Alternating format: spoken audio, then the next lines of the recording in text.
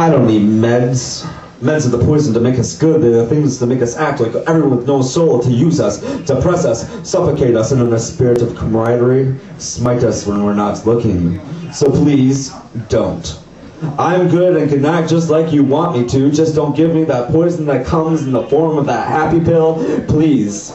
I'm not needing of this apathy and induced coma called work, TV, sleep, and repeat. And if lucky, buck, buck, buck some more. I can exist without them if you please, so stay away. Stay away, Reaper, in the form of an MD. I have no need for those prescribed meds that will augment my depression or my mania, because without these, I can't understand me. You see, these roads were made for me.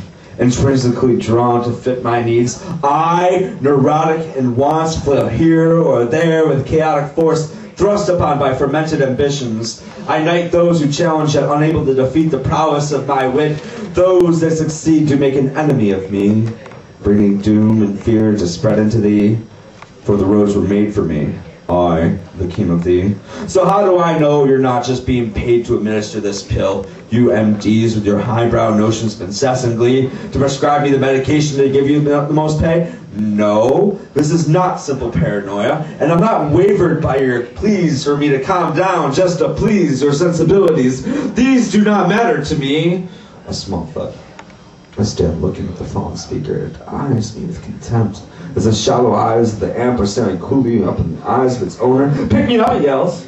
As if in his eye triumphant feat, it exceedingly makes the neat and orderly room imperfect, the small defection that taunts my need for order. The rain of chaos cries into my being. Out of place, says my mind. Not neat, states my eyes. Wrong, yells my heart.